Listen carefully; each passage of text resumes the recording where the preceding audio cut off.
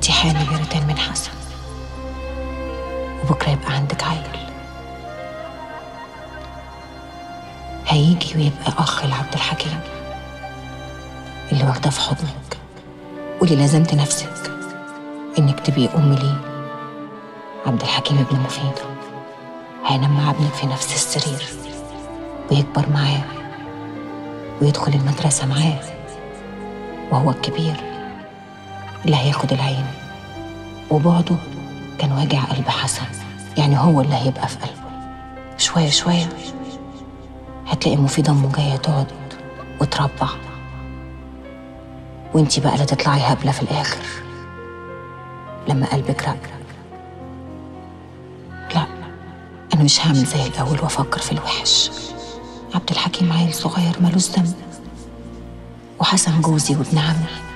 هحبه عشان خاطره وهشيله في عيني عشان خاطر حسن بس. ازيك يا ريتال؟ الحمد لله. بعتلي يا مروان في حاجة؟ الله يعوض عليكي. ربنا بيرضي خلقه عشان يشوفوا ويتعلموا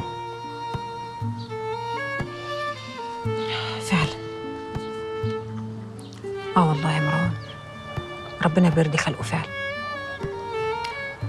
بس زمان قالوا ما يملاش عين البني آدم إلا التراب لساكي زي ما انتي كلامك بيقول إن أنت عايزني في حاجة مهمة. تعالى يا ريتال تعالي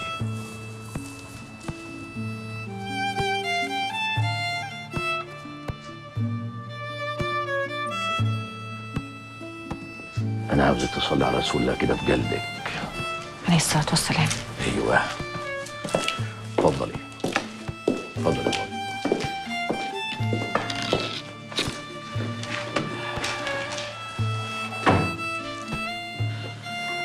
ريتال انت في الأول وفي الآخر بنت عمي.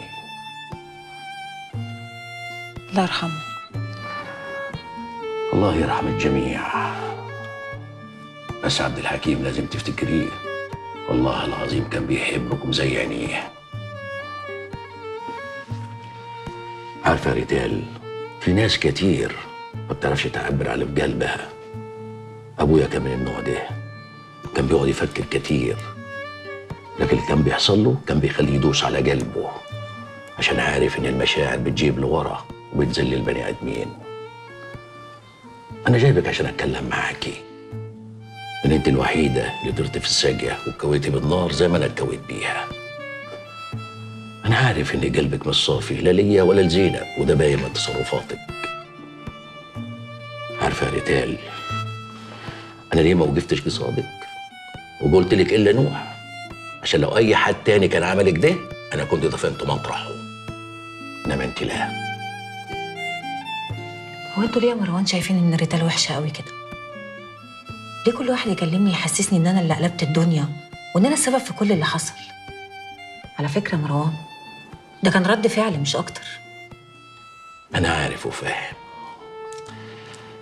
أنا عايز أقول لك على حاجة اقبليها مني. انسي يا ريتال. انسي كل اللي إحنا عملناه. وافتكري حاجة واحدة بس. إن إحنا ولاد عم. والدم اللي بيجري في عروقنا دم واحد. كلامك حلو قوي يا مروان. عامل زي الكلام اللي بنهدي بيه نفسنا. بيبقى كلام جميل. بيبقى عامل زي المسكن اللي بيسكن الألم بس ما بيخففش. عارف يا مروان زمان وإحنا صغيرين كان معانا بنت في المدرسة. كان معاها اخواتها وولاد عمها. كان أول ما جرس المروح يضرب. تجري وتسيبنا وتروح لهم. كلنا كنا بنبقى مستنيين أهالينا. إلا هي. كنا بنجير منها يا مروان عارف ليه؟ دي يا ريتال عشان كانت أول ما تخرج كانت بتجري عليهم. كانوا بيبقوا ماسكين في إيديها وخايفين عليها. كانت تقعد تبص لنا وتغيظ فينا. كانت كبيرة بيهم قوي يا مروان ولا أبوها ولا أمها كانوا بيجوا ياخدوها من المدرسة. عارف لما كان حد يضايقها في المدرسة كانوا بيتلموا عليه كانوا بياكلوه بسنانهم كانش حد في المدرسة يقدر يقرب لها. كانوا حماية ليها وسند يا مروان. كانت كبيرة بيهم. عارف لما بابا حصلت له المشكلة المالية؟ كلنا خفنا وحطينا إيدينا على قلبنا. بالذات بقى لما قال إن هو هيسافر لعمي عشان يتكلم معاه. كنا متأكدين انه مش هيساعده. كل واحدة فينا كانت خايفة وكان نفسنا يبقى في حل تاني غير ده. عارف ليه؟ ليه؟ عشان عمرنا ما حسينا ان إحنا أهل ولا خايفين على بعض ولا حاسين ببعض. هنغلط زيه ولا هنتعلم؟ صدقيني أنا عمري ما كرهتك يا ريتال عشان كده كنت عايز تموتني. بس أنا مش زعلانة منك. عشان اللي أنت بتعاتبني عليه. أنا بعاتبك عليه. أنا غلطان. سامحيني. انت ليكي حق عندي في رقبة اليوم الدين. أنا جوايا كان نار يا مروان. غصب عني اتحكمت فيا. دخلت في عقلي. أنا أم. أم وابنها راح منها. أنا أكتر واحدة في العيلة دي اتعذبت يا مروان. أكتر واحدة في العيلة دي اتظلمت.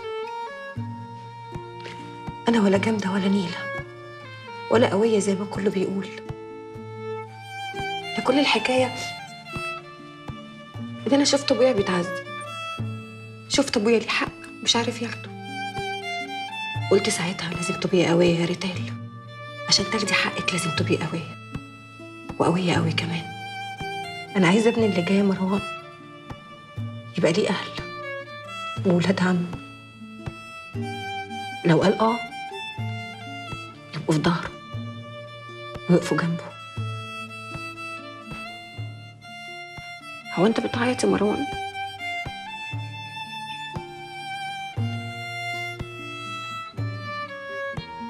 افتكرت ولد اللي ما شفتوش. كل كلمة قلتيها أنا حاسس بيها. أنا جوايا بركان عاوز ينفجر عشان أرتاح. لا هنسى ولا يروح في بالي. نفسي أعرف من اللي قتل ولدي وبطن أمه. لو أعرف قسما بعز جلالة الله هدفنه مطرحه